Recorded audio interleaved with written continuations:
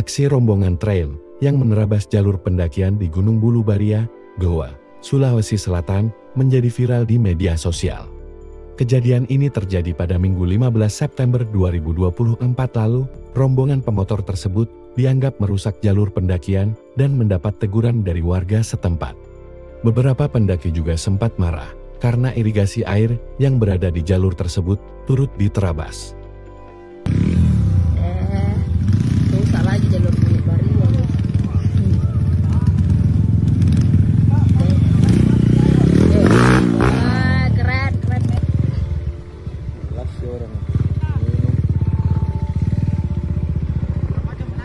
Iya, anu warga lokal berada na minum tahu bang. Saya juga warga lokal juga. Saya warga di Pastiro kak. Harga tongki. Jadi tolong di, minta tolong kak. Dem marah iya, siapa tidak marah kasih begini jalur. Bagus. Guys, lihat lihat.